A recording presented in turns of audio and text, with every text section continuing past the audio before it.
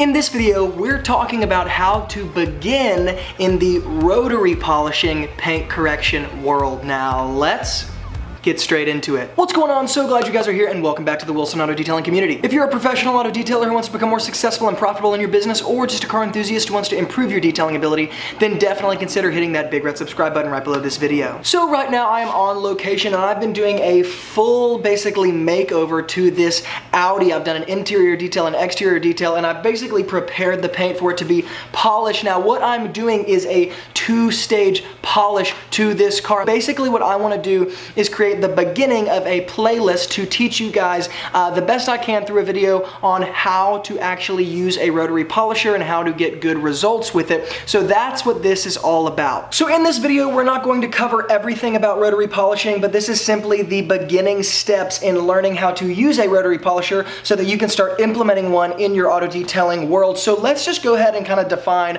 what a rotary polisher is in very simple terms. Basically, the difference between a rotary polisher from a DA polisher, and most of you probably know this, but a DA polisher, it actually spins on an axis as well as revolves around that axis. And so much like the planets or in the solar system, the sun is what the planets are revolving around, but as the planets are going around the sun, they're also spinning themselves. And so that's why a DA polisher is actually a little bit safer to use than a rotary polisher because though it's spinning on an axis, that spin is being dispersed as it's revolving and so the friction it's creating is being dispersed in a greater surface area and that's why you're much less likely to burn an edge. The rotary polisher does not revolve, it only spins. So it spins on a single axis and so when it's touching something, all of the friction that that spin creates is being focused in one single area and that's why this takes a little bit more know-how to use because obviously the friction,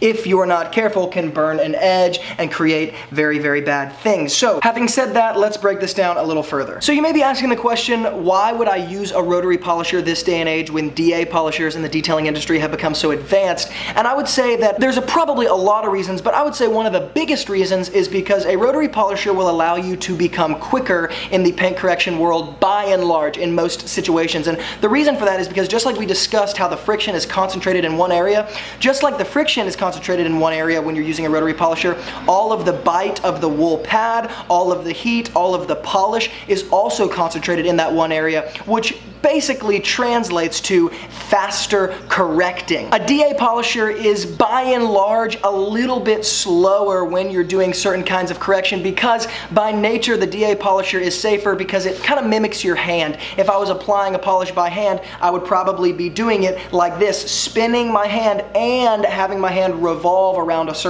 surface area. And so for those reasons, it becomes a little bit slower. Now there are pros and cons to a rotary and a DA and I actually like to use them in conjunction, but once again, I'm just speaking in generalities right now. In general, a rotary polisher will allow you to become quicker. Now, what's another big pro to using a rotary polisher? Well, a lot of people kind of nickname their rotary polisher like the heavy lifter or the grunt work polisher because this has, again, the potential in general to do more heavy lifting, to do more aggressive work. And so when you're dealing with cars that are really, really bad or dealing with cars that specifically need like aggressive correction, a rotary polisher in a big way can be a very, very big help because once again, it is a more aggressive approach. But of course, it doesn't have to be more aggressive. You can use it simply to do things quicker. But once again, there's a reason why a lot of body shops use the DeWalt rotary polisher for all of their correction because it's quicker, it's aggressive. They're dealing with a lot of cars. They're dealing with really hammered cars. And so once again, you guys can do the logical deduction. But these in a lot of ways are kind of the heavyweight champions of the paint correction world. They can do a lot very aggressively. So kind of what I would like to go ahead and do is just show you guys the condition of the paint that I'm detailing right now, this Audi. Now, once again, I'm in a garage right now, and so it's going to very seriously over flatter the paint condition, okay? If I was in the sun, it would be a lot easier to see, and if I had a bunch of LED, you know, lights on hand, you guys could see a lot better. But this this Audi is actually in very, very poor condition as far as the paint is concerned. There are tons of swirls, there's tons of watermarks, there's tons of bug etchings. This Audi has actually never been detailed before, and so on top of it never being detailed and really sitting outside most of its life, it also is black, which you guys know in the detailing world is very, very difficult to deal with. So I pulled actually my phone LED light out, and you guys can see those swirls as I move my phone up and down the paint. You guys can see the swirls. The camera's definitely picking it up. Let me see if I can get a little bit better angle as well, kind of focusing in here, trying to show you guys. So you see where the light's hitting it, see all those swirls, see all those swirl marks. So here's the side of the hood that I have not done with the rotary polisher. You guys can see ton of swirls. I'm really hoping the camera picks it up as well as I can see it in person here. Again, the camera tends to over flatter things, especially on black paint. But you guys see that. And I'm gonna move across and you guys can probably see pretty, pretty, I don't know, obviously, the line of demarcation. This is the side that has been used with the rotary polisher. Now, what you guys can see here is that there's, there's still a certain level of swirl marks, but more than anything, there's some hologramming going on. That is something that is very common with a rotary polisher, and when you're really good with a rotary polisher, you may be able to avoid that. I am not really at that level. I don't really care to be at that level because what I'm going to do after I'm finished using the rotary polisher and doing a one step and using the first step or first round of polish, I'm going to follow up with my Rupes DA and with a glossing finishing polish. And what that's gonna do is totally eliminate um, another percentage of the swirls, but it's also gonna eliminate any of that hologramming that happened because of the rotary polisher. So here's what we're gonna do. I'm gonna walk through exactly what I do to use the rotary polisher, how to use the rotary polisher, and then we're just gonna check out the before and after results. So because I'm doing a two-stage stage polish, I am starting with a little bit more aggressive polish. This is more considered a compound by and, by and large in the detailing world. A compound is just a very, very aggressive polish. It's, you know, it's an aggressive step before you start polishing is probably the simplest way to put it.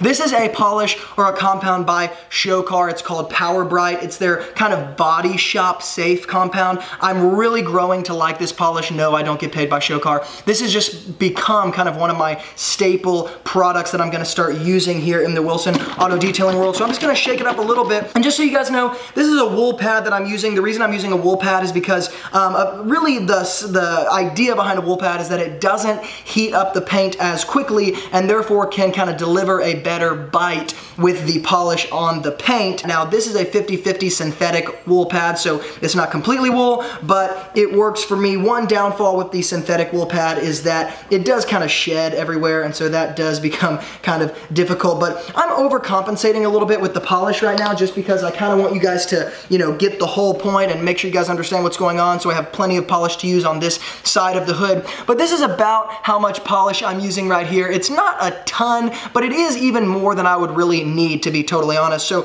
what I'm gonna go ahead and do first is literally just kind of apply it to this half of the paint a little bit, just spread it around so that when I start, it doesn't sling everywhere, though I am gonna get some sling regardless. Now, some of you are asking, why did I not tape off this character line? Why did I not tape off this space? Let me explain that before I actually get into this. When you are using a rotary polisher, yes, it, it would probably be a good risk management, you know, step to take to tape off these little spaces right here so that you don't have to do a bunch of polish cleanup. However, you also wanna tape off these high marks right here, these, these high points, because when I'm polishing right here, the friction is dispersed because it's a flat surface. When I'm polishing right here, the friction is focused on the peak of this character line because all my polisher is touching is the character line itself. So if you are totally new to rotary polishers, I would absolutely tape this off. The reason I'm not taping it off is because even for those of you who are new who might want to tape this off, eventually you have to pull the tape off anyways to actually polish that high mark. And so I'm just gonna avoid that step and go ahead and polish everything in one step. But once again, I'm gonna be very careful as I'm using this and moving it across the paint, I'm gonna be very careful as I start butting up to this high point. And when I get on the other, uh, the other end, I'm gonna start angling my polisher in certain ways, pulling up from the paint to make sure the pressure isn't totally focused on the high point, kind of finessing my way around. So I'm gonna go ahead and just do this. I'm not gonna speed it up. I want you guys to see it in live action. And after I do it in live action, I'm just gonna kind of explain what I did. So I'm gonna go ahead and throw the uh, cord over my shoulder and get started. Now once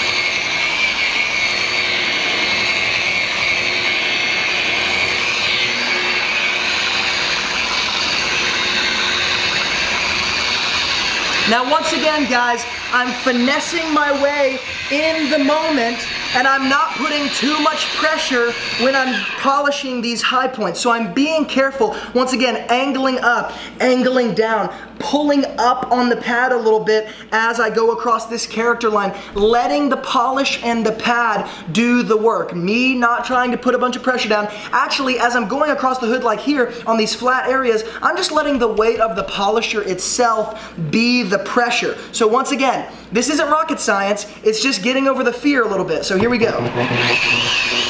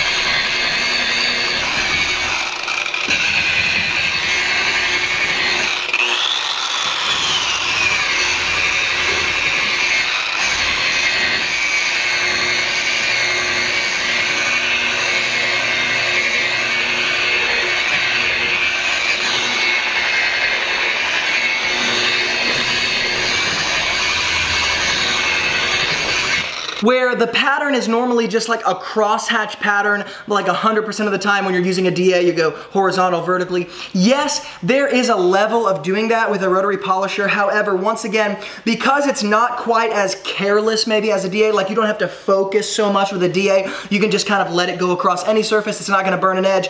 This requires a lot more hyper focus, and because of that, I can't necessarily go in a crosshatch pattern every single time. I'm gonna have to change it up. Once again, finessing the moment. Here's an angle, here's an angle, pulling it up, pushing it down, letting pressure off, letting the weight on it. So I'm gonna go ahead and wipe off the polish and then we're gonna check it out. But just so you guys know, yes, I had the polisher on about 600 RPM. That's extremely low. Why did I do 600 RPM? Because for those of you who are starting out using a rotary, this is what I did in order to learn. Yes, I had a good teacher, but at the same time when I was on my own, and I think you can definitely learn how to do this on your own, I just kept the polisher at a very low RPM. I put very little weight on it and I just started playing around with it and started learning the machine, started learning how it reacts to certain painted surfaces, certain high points, certain low points, certain angles. And when you keep it at a low RPM like 600, number one, it's good for a first step in the polishing world because it's not gonna heat it up very fast. It gives it time for the wool pad and the polish to react with the paint, let those abrasives work and actually bite. And that's another reason why I did it. Number two, I just wanted you guys to see that this can be done at a very, very, very low RPM level. So I'm gonna go ahead and finish just wiping off this excess polish and then we'll look at the hood. Okie dokie, everybody. So this is just the step number one in this paint correction process. This entire hood has been corrected using the step one compound, the Power Brite by Show Car, the 50-50 synthetic wool pad, and the rotary polisher. Now, a couple things I want to point out. With the rotary polisher, because it's spinning on a single axis, you will probably have some like hologramming left over. That is very, very normal and can very easily be taken care of by the DA. Now, if I was using like a foam pad or a microfiber pad on the rotary polisher, that would change things up a little bit. But with a wool pad, personally, I find it very difficult to avoid getting things like holograms and all that sort of stuff on the paint. We use different words for it in the detailing world. Sometimes people use all that stuff interchangeably. But I just want you guys to see this first result I know it's difficult because I don't have LED lights, but as I go across with the light above on the ceiling, you guys can kind of see the swirl marks, number one, are reduced at a very, very, very high percentage, more than they would be if I just used a DA in this case. In this specific scenario, the rotary polisher is going to lift more of those swirl marks away. It's going to do more of the dirty work, more of the aggressive, heavy lifting. That's why I chose to do it in this case. Once again, I'm going to follow up with a DA. So the DA and the finishing polish is going to perfect any of the um, imperfections actually created by the rotary polisher, meaning any like hologramming. And then number two, obviously it's gonna finish and get rid of more of those swirl marks. Now, one thing I do wanna point out, and just kind of a, another point to the using the rotary polisher. Because it's like a seven inch pad and normally rotary polishing pads are a little bit bigger than DA pads, you can buy them the same size and you can change the backing plate, but by and large, they're normally around seven inches. The pad hangs over, as I'm polishing this little panel right here, the pad hangs over this edge. And so if I'm not careful, I'll become hyper focused on this specific panel, forget I'm hanging over on this panel, forget this character line is there, forget this little space is here, get polish all in there, burn this edge, and actually polish this in a way I'm not trying to, maybe even damage it you guys can see the polish, the pad actually hung over. I, I, wiped it off of here, but it was going all the way down here. So I have to make sure that I'm being aware of where the polishing pad is actually moving, where the polish is moving. I'm not only polishing this, I'm also hitting this. So in the same way I have to be hyper-focused with these character lines, I have to be hyper-focused with all this sort of stuff that I know I'm gonna get without even trying to. And so once again, it's just a puzzle. It's a game of saying, okay, I know this is a little bit more dangerous. I know I gotta get over the fear but if I do, I can start getting great results. So what I'm gonna do is I'm gonna go ahead and finish the entire car. I'm gonna use the rotary polisher on every single painted piece, the, the, the roof, the hood, the front, the sides, the back, the trunk, all that sort of stuff.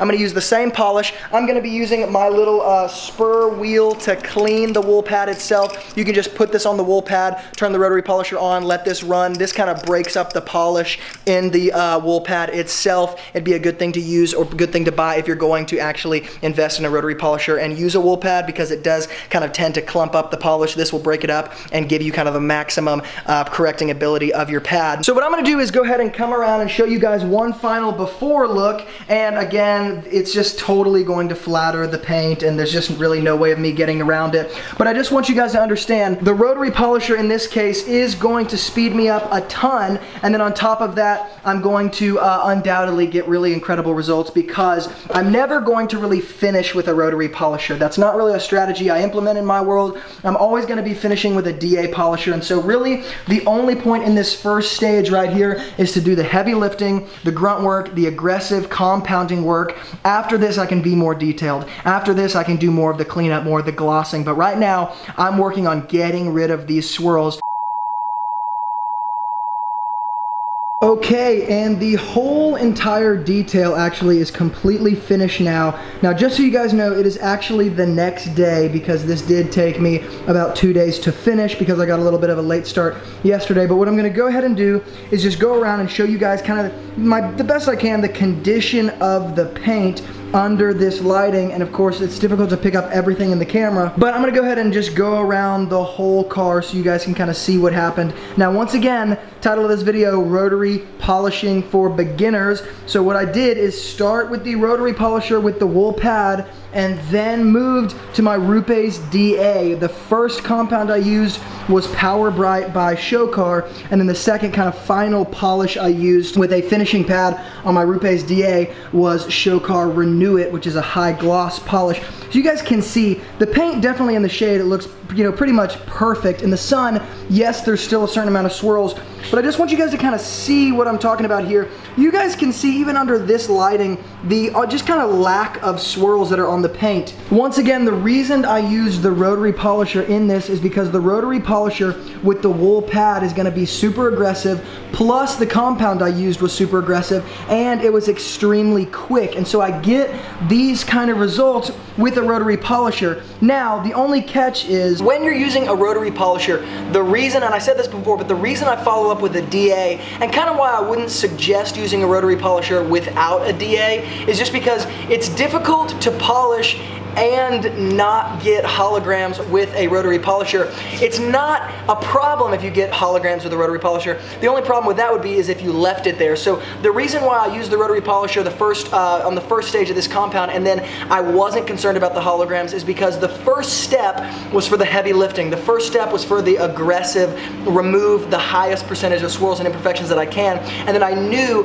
any kind of, not damage, but any kind of imperfections like holograms that the rotary polisher produced produced, I know the DA is gonna fix that as well as gloss the paint to a really, really high level. So the main takeaways from this video are number one, it's not really as scary as you think. And so for the beginners out there, the best thing for you to do, kind of like I did in this video, is to get the rotary polisher. I would suggest getting the wool pad and then start on the lowest RPM like 600 because yes, you can still burn edges. Yes, you can still mess things up. But with a low RPM like 600, it's just a very low risk that you're gonna actually hurt anything or burn any of the edges. Look at the techniques I used in this video as far as how quickly I moved on those character lines, on those high points in different spaces, angling the buffer, pulling up, pushing more pressure, different things like that. And it really is fairly simple, but again, number two, I would not use the rotary polisher without kind of in conjunction with a DA because the DA is gonna fix any of those imperfections that you might have kind of produced. And so it doesn't have to be the Rupes DA. I lo also love the Griot's Garage 6 inch,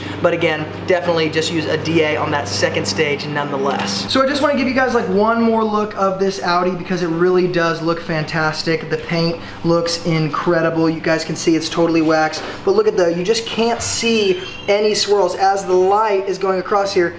You really can't see any imperfections. You can see scratches here and there that are really deep beneath the clear coat. But once again, the paint really does just look flawless. So let me go around one more time just so you guys can get a little kind of glimpse of what I'm seeing in person here. And this is just one of the main reasons, one of the many reasons that I love the rotary polisher. Yes, it's quick. Yes, it's amazing and makes things like headlight restoration very quick, but it also gives you amazing results like this. So check that out. If you guys liked this video and it added some value to your life, definitely hit the thumbs up button. And if you have any questions, comments, concerns, hook up all that stuff in the YouTube comments below because I always read those and I'm sure to get back to you guys as fast as I can. And if you guys would like to buy anything used in this video, I'm gonna hook up everything I used in the YouTube description box below. There will be Amazon links to every tool and every product that I use. So if you wanna get your hands on, again, anything used in this video, every single link for those things will be below this YouTube video in the description box. Use my Amazon links because it does give this channel a very small commission motivation, but it helps this channel stay alive so I can continue to give out awesome content just like this all the time. If you're new to the Wilson Auto Detailing community, definitely consider subscribing because I come out with videos all the time just like this on products, tools, strategies, communication skills, business skills, and so much more, all in an effort to help the pro detailers become more successful and profitable in their businesses. And on this channel, I share the same strategies that turn my detailing business into a full-time income with only part-time hours. So if that interests you, definitely subscribe. Once again, thank you guys so much for being involved here. And as always, from Luke here at Wilson Auto Detailing, keep working hard, and I'll see you guys in the next video.